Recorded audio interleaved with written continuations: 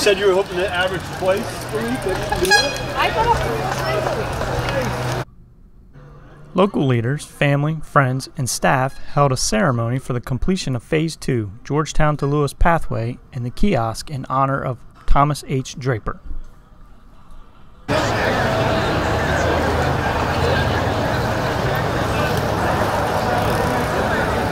Um, but I got to tell you, the two gentlemen standing behind me right now are, uh, are, are the ones that make this happen. So um, I'm going to give the limelight to the two of them, um, Jeff and Anthony. Can you guys give them a round of applause for making this happen, please? All right, that was a louder of applause than for me. I'll let that slide too. But here, Jeff, tell everybody about the project. Yeah, thank you, thank you very much for coming out tonight or today. Excuse me. Yeah, we've got the project open now from uh, Savannah Road. Uh, the original project was from Savannah Road to Minos Conaway, but we were successful uh, during the construction of this project to secure uh, additional state funding and federal funding to extend the project all the way to Log Cabin.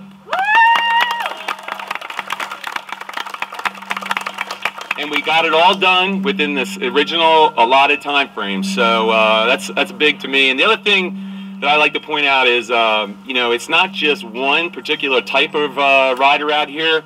We, we're seeing kids. We're seeing. I, I've seen people that I know haven't been on a bike for five years or more. You know, that are out here now riding this bike trail. So, and. Uh, the other thing is, you know, you can get from the dairy farm, get your ice cream, and ride all the way into Rehoboth on a completely low stress network. So that just.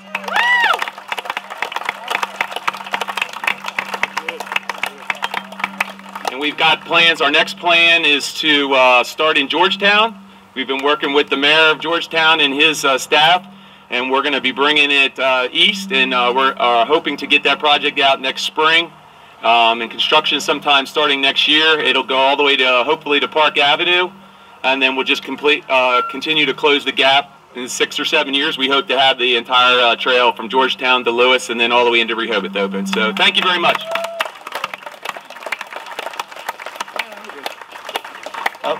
Just a couple words. Thanks again. Uh, we've been working on this really since I started DelDOT doing some concepts with the people that we have here now. The secretary, Drew Boyce, the director of planning. They really put the muscle behind the idea and got this on the on the ground. So thank them.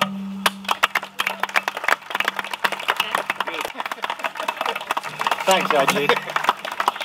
Um, yeah, what a beautiful day to uh, to celebrate uh, a beautiful thing, riding bike riding with your friends and family in the safety of a of a beautiful brand new trail, and uh, just it's just a great thing. It's uh, it's my honor to be here and to uh, thank everybody on behalf of the Draper family, um, particularly uh, Representative Harvey Kenton, whose idea this was, as has been mentioned. Um, it, it, it really warms our heart to be uh, thought of and included in this uh, in this awesome trail. Um, thank you to Secretary Cohan and, and DelDOT and everybody, all the elected officials that were involved.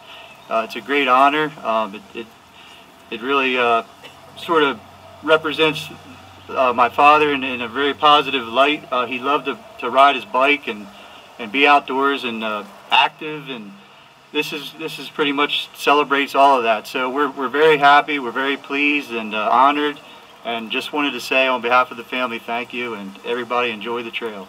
Thank you. And with that I'm gonna ah, Cool. Done. oh. oh, wow. Very nice. Very nice.